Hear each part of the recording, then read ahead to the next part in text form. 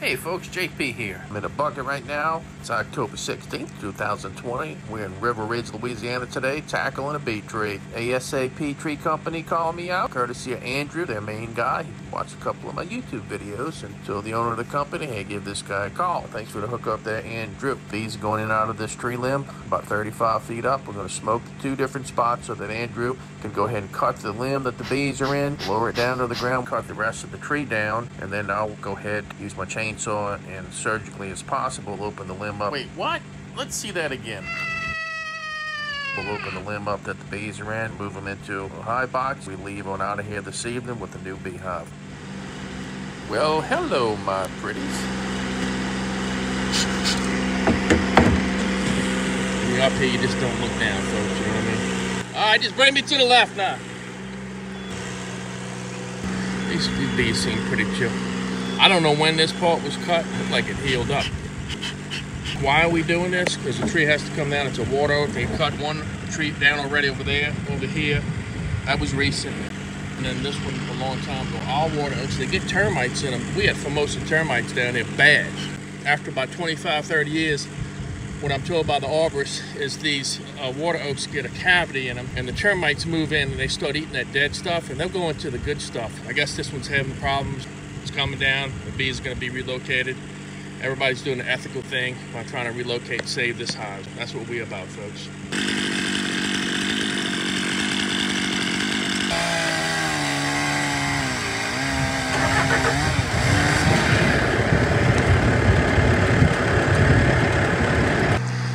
The hive's a little bigger than we thought, folks. It's gonna have to go further over to that limb he's tied off to. The thing must be pretty hollow. Bees are pretty chill. They're flying around a little bit more now because it's swarmed up slightly. They're all flying around him. He's doing exactly what most people don't do. He's not swatting at them, which is great. That's what you don't want to do. You never want to swat at bees that are flying around you. He's not getting stung. They even landing on his shirt and stuff. Very relaxed and doing what he needs to do to get his job done on a nice, pleasant Friday.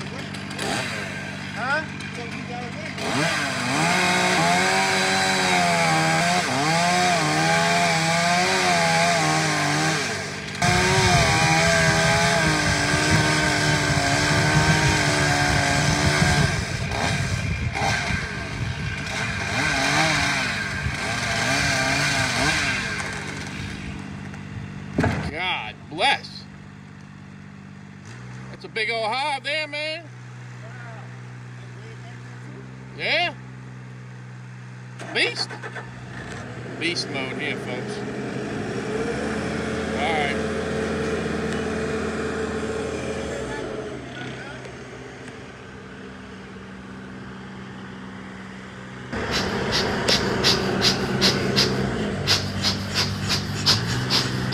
Old hive, folks. Big old hive. What'd I get myself into today, folks, huh? She's gonna come in here, alright. All right, just bring right on in here, brother. Come on, just, just lay right on down over here. Alright. Maybe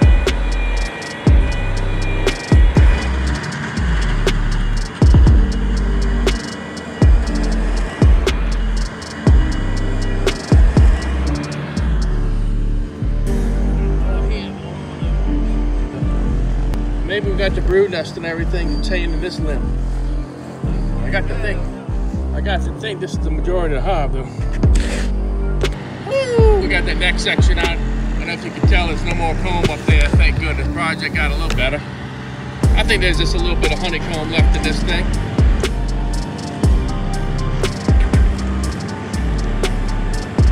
And it's just about maybe another foot in. There's just a little bit of honeycomb. Girls. All right. Good. Good. Most of them just in there chilling. But our queen should be in this section. There's just a little bit of honeycomb in there.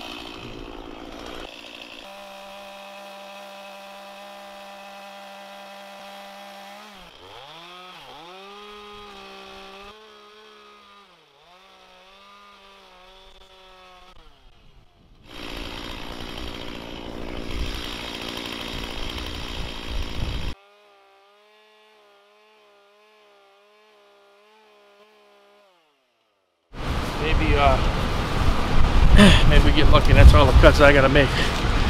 Let me show you the, what's going on with the box, folks. We hadn't transferred any comb or anything. I just spray a little bit of Swarm Commander. Swarm Commander mimics Nasonov or orientating pheromone. On the bottom board. And we got bees in the box, covering the box. They love that Swarm Commander. All right, so, so we did. I made a cut straight through here. Across that side. So this chunk right here was moving on me earlier. This one should come right out. And hopefully this, this piece will come out. And then that next piece below it. And this piece should come out. Then once, you know, we expose this thing, we're doing what we normally do. Start taking combs out, frame up what we can, get our bees gravitate to the box. Yeah, they've come alive a little bit since it's warmed up. I've only taken literally like, I think two stings. So I think the most intrusive stuff is done. Hopefully there's not too much more cutting I have to do. But I feel good about where we are right now, folks. Let's get into it.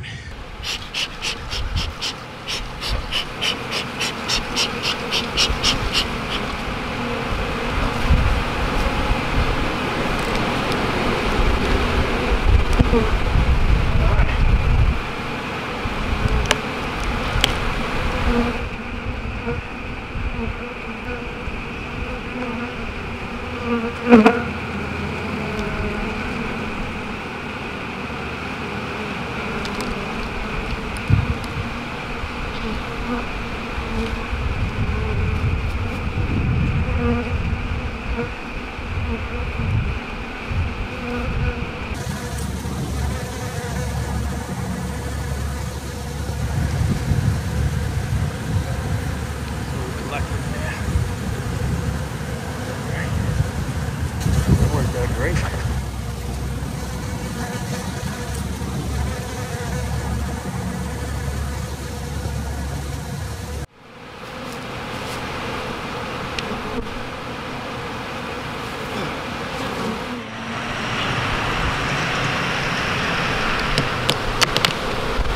All right, good.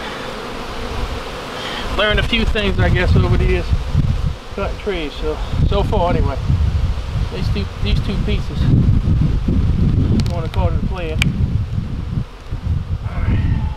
Pull this over. I know I have no idea where the queen is right now, if y'all wonder. So she's in here somewhere. Let me get this piece out. And, uh,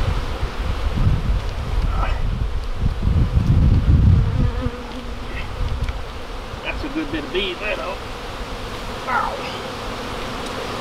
She could be in that mess. She could be. That's a mess of bees. See if she might, if we get lucky. See if we get lucky.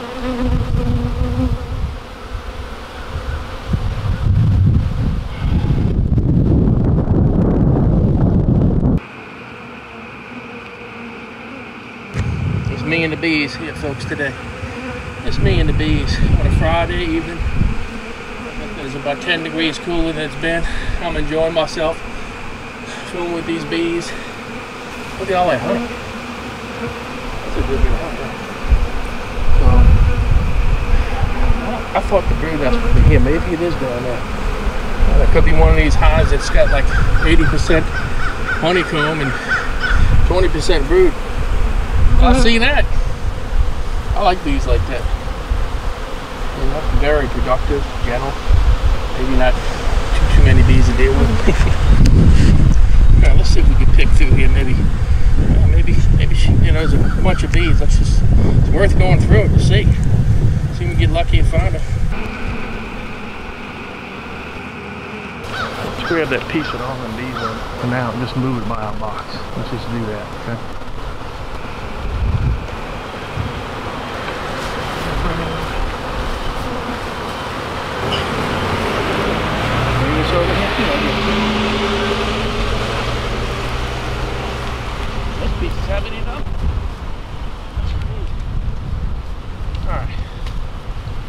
Yeah, I'm gonna have to make another cut on this. Okay.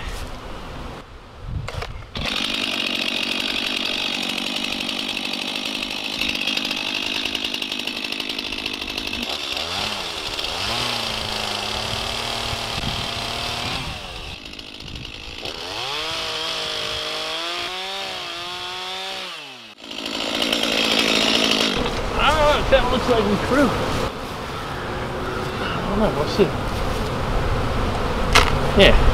There's that one little peak. Alright. So, this one.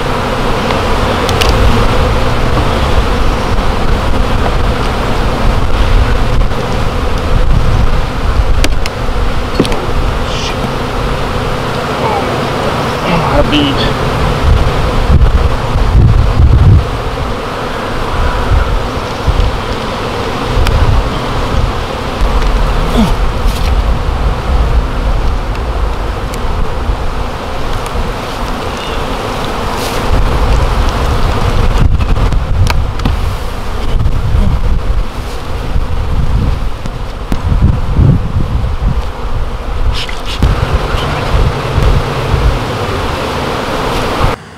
Pile of bees. Pile of bees. Small pile of bees. Could our queen be in here somewhere?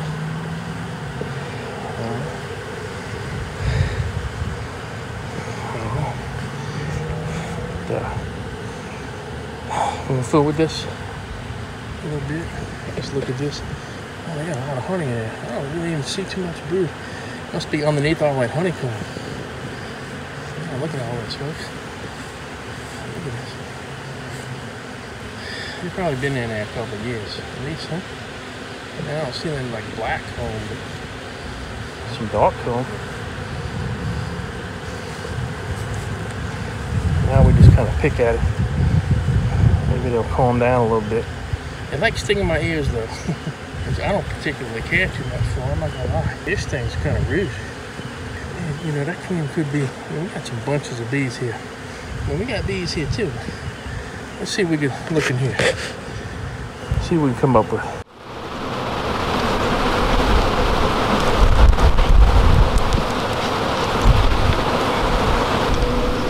Use some foundation to be our little bridge.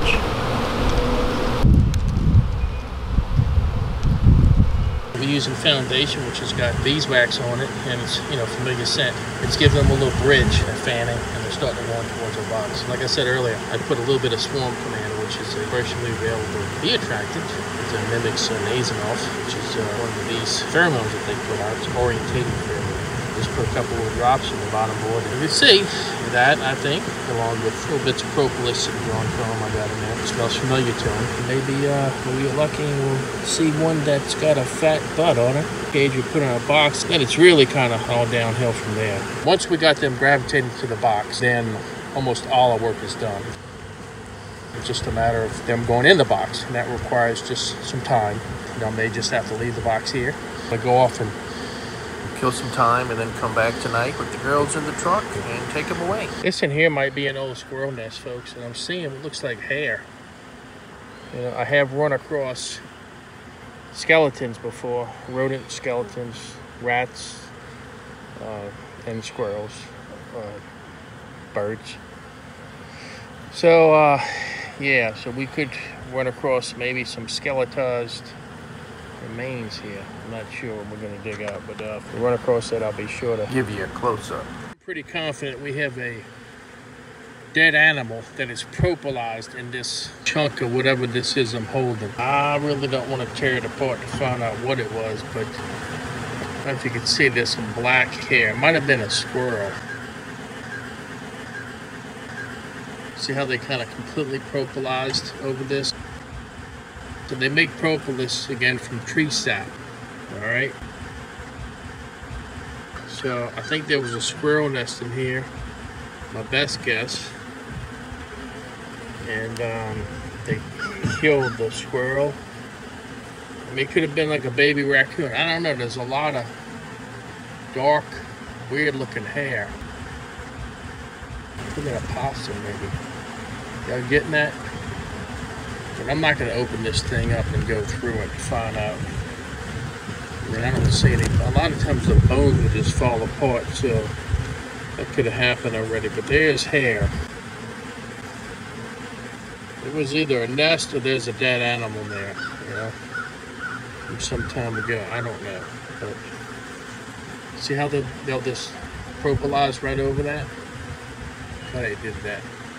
At this stage in the game, folks, we've removed the majority of the comb. Not a lot of it was frameable. A lot of it came out in pieces. I was able to frame up a couple of comb sections. A lot of it was just going to feed back to the bees. The majority of the bees have gravitated to a hive box, albeit I have not run across the queen yet. Gotten to the point where I believe that maybe we weren't going to find her. Maybe she was injured or something. I don't know. When we lowered that big section of limb, I think some of the brood comb sections wound up compressing against each other and they were saturated with honey. As I was pulling them out, I realized that she could have been injured. And then lo and behold, I just happened to look at the little section of tree that I cut up. I just happened to be looking at this little area and kind of zoomed in and there she was.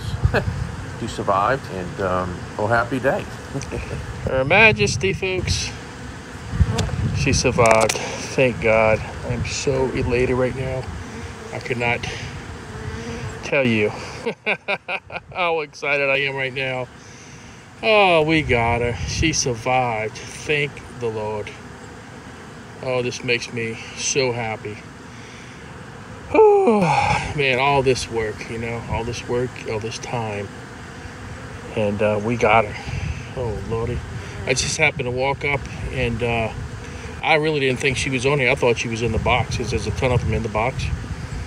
And um, I just grabbed the hive tool and grabbed the little clump of bees. Mm-hmm. And I was just going to shake them in front of the box. And she was on that little clump. Wow. That was just luck. That's all that was. But sometimes it's good to be lucky, folks. I'll take it. All right, let's cage her and put her in the setup. I'm a very happy man right now, folks. Very, very happy.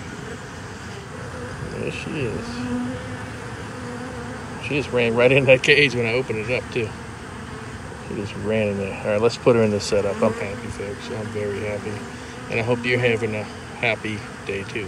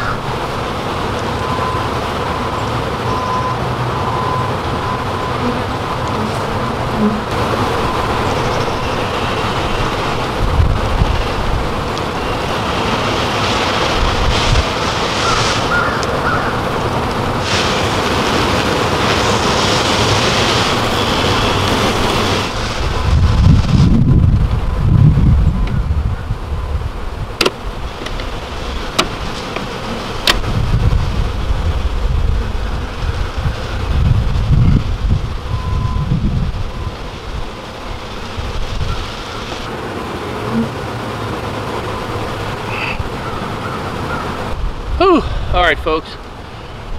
Whew. I ain't gonna lie, I'm kind of worn out.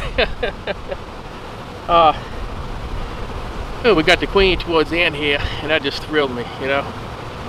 For a minute there, it was looking like uh, maybe she got smushed, you know, when the uh, tree was low. I mean, we did everything possible to, you know, be gentle with this, but uh, weren't using a crane, so it was, you know, sometimes so with the crane, you know, you can lower it, you can do whatever you want. So we were lowering it with a rope and then using the bobcat.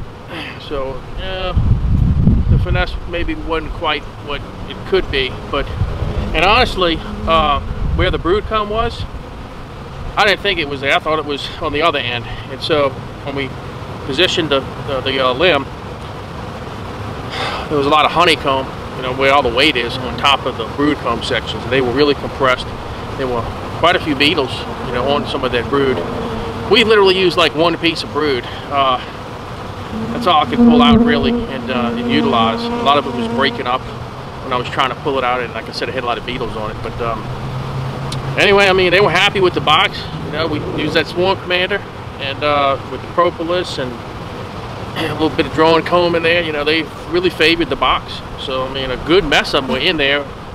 You know, from early on, really. They were just going right to it. I'll be back at dark, and they should all be in the box because it's cooler now. So they they they should want to join up with the other ones in cluster, not like a job I did the other night where it was like in the mm. high 80s at night, and I had to work for an hour to get the rest of them in the box. This should work out tonight. They should be in this box tonight when I come back. I'll snug as a bug in a rug. So I hope y'all really enjoy this video. I appreciate y'all tuning in and taking the time from your busy day to watch these videos. I try to make them educational as well as entertaining. So hope you're getting something out of it, some enjoyment, and uh, you know, it's you guys and gals out there that drive me to, to make these videos.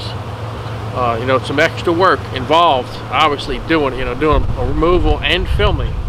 I do all this by myself. So, uh, but y'all been very kind to me. You've supported my channel, and um, you're driving me to, to, continue with this, and I'll just keep on doing as long as I am physically able to do so. So, until the next one, I hope y'all having a fantastic day, because you know I am. All right, folks, I'm back on this job here. Look what we got. All the bees are tucked in there. See, when the temperatures dip, they have to cluster. Not even one outside. They're all inside, folks. So let's put them on the truck and take them away. All right, folks, this is the colony we removed from the tree. And we're gonna go ahead and release our queen, okay? You can see they've chewed through the rubber bands, a couple of them anyway, that were uh, on the frames, and they've pushed them out of the hive. See how they did that? Hello, girls. All right, let's go in and go ahead and release the queen. All right, let me go ahead and reach down grab it. I'm getting stung. Uh.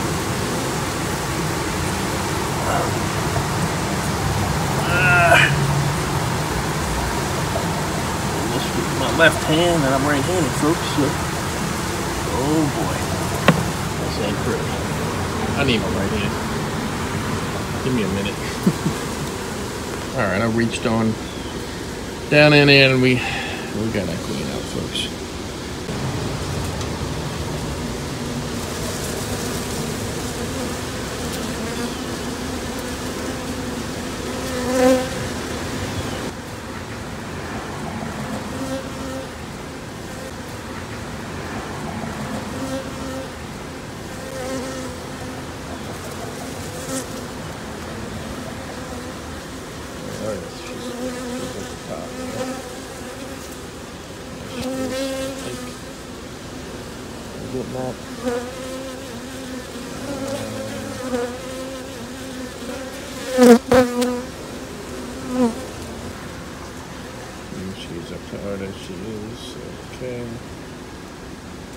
put our frames back together and we'll go ahead and see if we can't film the release, folks.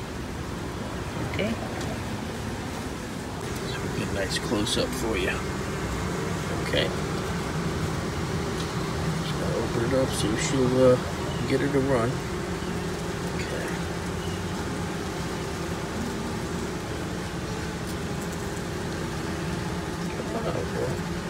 There she is.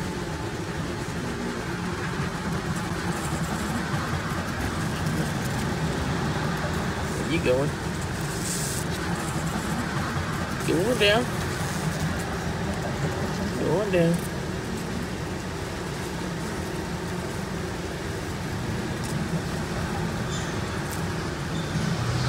I don't know if she went down or if she's on the underside of the catcher, folks. Let's see. I think she ran down. Yeah, I don't I don't see her so yeah, supposed to run down.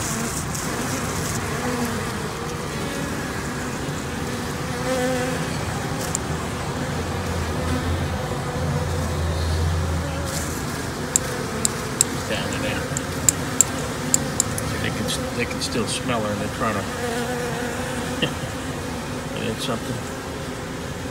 Some of them still smell her anyway. All right, let's put this aside I'm just gonna go ahead and put the cover back on. All right, hive's getting long. I've had to feed them fondant. Let's go ahead and feed these girls, folks. We're in uh, December now. Kind of neat to watch them come out.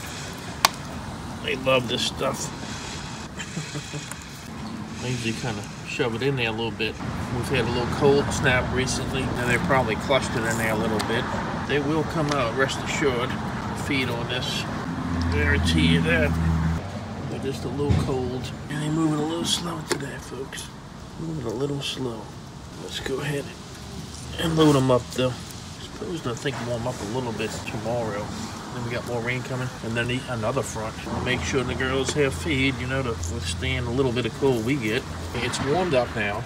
This is how winters are, folks. So we get a front that comes through, and uh, let's say the temperature drops in the mid 30s. We rarely get many freezing days down here. Okay, and I am about 10 miles west of New Orleans. You know, if we do get a cold front and we're in the mid 30s or whatever, you know, that might last literally like two to three days, and then right behind that cold front is a warm-up trend. So right now, uh, we're in a warm-up trend where literally, like yesterday morning, it was probably in the uh, low 40s, and uh, now it's probably in the mid to upper 60s. So, you know, about a 20 degree differential, and the bees are much more active today. I do have some fondant in my hand that I'm going to feed them. So basically fondant is sugar, you boil in a pot with some water and a touch of vinegar. You mix it, you pour it out like on a cookie sheet, you let it set. It's a great supplement for the bees in cold weather because it doesn't have quite the moisture content that a liquid would have. You know, what's really bad for bees is when it's cold and damp. This provides them with some feed, but without the added humidity that liquid feed would give them. Let's put this out, see if, see if the girls come out. I've already got a few, you know, trying to land on it. it only takes a minute for them to find this stuff. They'll come out there and they literally will cover this stuff. All right, so let's go ahead and uh, you see the bees are doing well. You know, we weren't able to you know frame up a whole bunch of stuff, but uh, and I haven't been. I'm not going to open the the hive. I haven't been in there, but you know we got bees coming and going with pollen. I did check. Uh, at some point. I don't think I have any footage of her progress, but uh, you know, I had checked. I don't know. It was a week later or something like that. I just went in real quick to see that she was laying and stuff, and you know, she was doing fine. And um, so I don't have any footage of, of the interior of the hive right now. But uh, as you can see, they're, they're coming and going. Look, they're already starting to cover the fondant. All right, and I got another hive over here that I moved, and I'm gonna give them some as well. But uh, and we'll come back to these girls in just a minute. You'll see them just really, you know, just cover. Obviously, these are very gentle bees too, and appreciative bees. We're very appreciative that we're feeding them today. So uh, let's uh, let's step over here to this other one. You gotta give them some too, because you don't want them to go over to the other girls and and, uh, and fight. They, they haven't really done any of that though. You know, I have not had these do any kind of robbing. They're both pretty strong colonies, and uh, not usually when I feed one, I feed the other. Just give them some. Love this stuff. And again, this is just supplemental. You know, we're in winter. There's not a lot out there that is producing any amount of nectar. That's done. You wouldn't want to start keeping bees this time of the year. If somebody called me and said, hey, JP, I want to start keeping bees right now, you know, right now, watch your videos, and right now I want to, I'm like, nope. We'll start up in the springtime, which here is probably about March. You know, late February, early March is when they start swarming. March, Marchish, April, somewhere in there depending on fronts and all that, it's a good time to start up here. That way you get some clover, and then you got ligustrum and various different things. And then in May we got a Chinese tallow flow, and you know you set them up to where they have different nectar flows, and they're able to collect nectar and make honey and all that good stuff. This time of the year they can get some pollen. They always can find pollen. Find the nectar this time of the year, no, they're not going to do it. So you have to feed them if they need it. So that is it for now. I really hope you guys and gals out there enjoyed the video, and y'all having a fantastic day because you know I am. Until the next one, you know, take care and thank you so much for taking your time to watch the videos. Have a great day. All right, several minutes later, let's see what we got going on here, folks. Chomp, chomp, chomp. We are just wearing it out. All right.